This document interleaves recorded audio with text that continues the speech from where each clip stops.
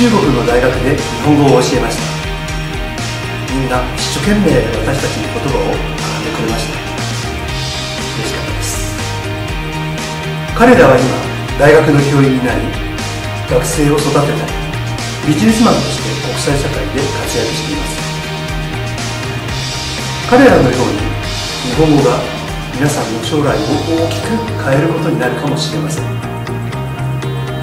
ここは日本を丸ごと学ぶ学校です。日本語日本の文化日本の人々社会産業そして春夏秋冬の美しい日本の景色。青森だからこそこれらが学べます。学校の勉強は厳しいです。宿題もたくさん出します。でも私たちがしっかり支えます。留学を機に将来を切り開きましょう。青森から世界ここを皆さんの出発点にしてください。